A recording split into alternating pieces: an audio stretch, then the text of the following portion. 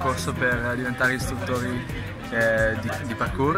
Um, in questi 5 giorni stiamo, vedendo, stiamo, facendo delle prove tecniche, delle prove fisiche, delle prove teoriche per eh, assicurarci che il loro livello sia tecnico sia fisico, sia di coaching, sia sufficiente per essere poi certificati come coach. Il parkour è un'attività eh, molto delicata su questo aspetto, quindi per insegnarla bisogna essere sicuri che le proprie capacità siano sufficienti, sia a livello fisico sia a livello tecnico e soprattutto a livello teorico. E I ragazzi in questi giorni stanno vedendo tutte le prove dell'esame, mm, stanno facendo anche un po' di più di quello che serve per essere sicuri che potranno passare l'esame a pieni voti e avranno tutta l'estate per prepararsi fondamentalmente e a settembre poi ci sarà l'esame in cui verranno testati fisicamente tecnicamente e eh, teoricamente su tutti i vari aspetti che coinvolgono la nostra disciplina. Il, eh, il, ruolo della WISP all'interno del movimento del parkour italiano sempre più importante?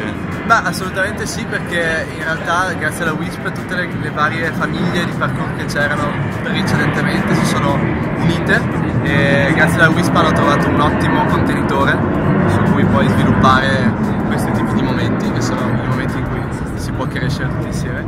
E essendo poi Wisp Sport per tutti, non, non c'era nessun altro contenitore migliore di questo perché il parkour è assolutamente aperto a tutti, non è competitivo, non ha bisogno di gare, di niente, quindi chiunque può farlo, sport per tutti, parkour per tutti.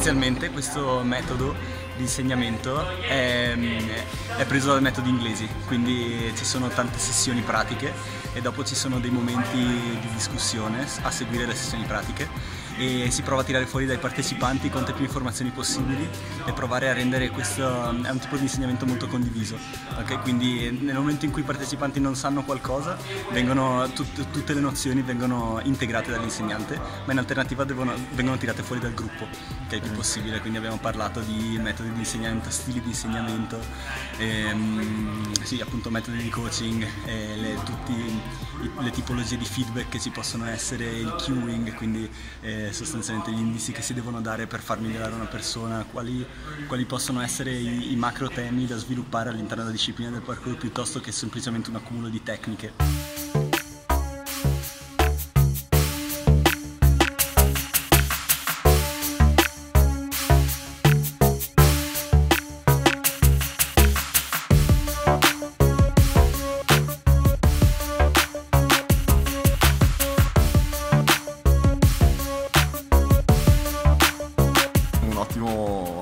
Formazione è anche un passo molto importante diciamo, che siamo riusciti a raggiungere, un, un momento di, di, condivisione molto alto fra, fra, tutti i praticanti e è una bella cosa anche per tutta la comunità italiana di diciamo, avere questa opportunità qua, qua, da noi. Insomma. Ecco, il parkour WISP è in crescita su tutto il territorio. Vabbè, pare proprio eh? di sì, visto anche dimostrazione. Il, numero di partecipanti e il gruppo che si sta formando adesso di nuovi, di nuovi formatori, di nuovi nuovi, di nuovi operatori direi, direi decisamente di sì. Okay. Questi ragazzi vengono un po' da tutta Italia? Tutta Italia, abbiamo eh, Sicilia, eh, Emilia Romagna, Puglia, Toscana, eh, dappertutto insomma. E sì, da quando la nostra associazione è diventata Delivery Center di questa certificazione che si chiama ADAPT, grazie anche a WISP, eh, questo è il primo gruppo così numeroso di insegnanti a, a livello mondiale.